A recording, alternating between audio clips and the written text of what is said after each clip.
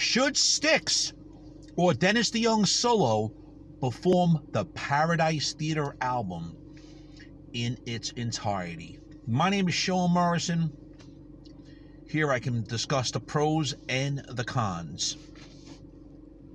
First off, do I see Styx perform the entire Paradise Theatre album in its entirety? Absolutely not, and I'll explain that in a minute. Dennis DeYoung, I can see doing that performing it in, in its entirety, and I'll also explain that in a minute as well.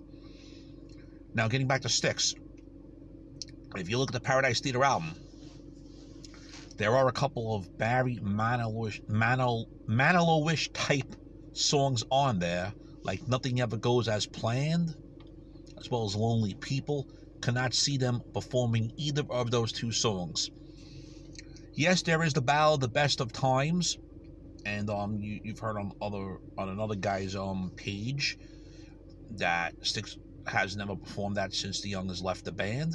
That is not true because, like I said, 1999 on the first leg of the Brave New World tour, they did have a little acoustic set where Boat on the River was performed. Even that sometimes just sometimes love just ain't enough when Glen Burtnik was in the band because he wrote that for Patty Patty Smyth and Don Henley and Best of Times was included there as well. It wasn't the full song, I was part of it. So that I can see. Can't see them entire, entirely performing that um full album in its entirety, really. You know, I can see most of the songs except for those two.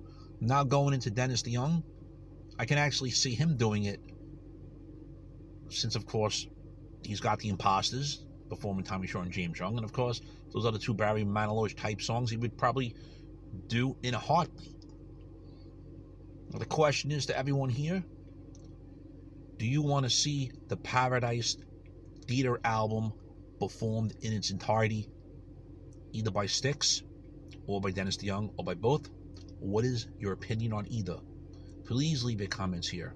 Thank you all for the new subscribers out there. And um keep listening to the great Styx music and all the good arena rock music as well. Thank you again, and all the all, all the current subscribers that have been there supporting this page. So, what's your opinion on Styx or Dennis DeYoung performing Dennis Styx or Dennis DeYoung performing Paradise Theatre album in its entirety? Shame, shame, shame.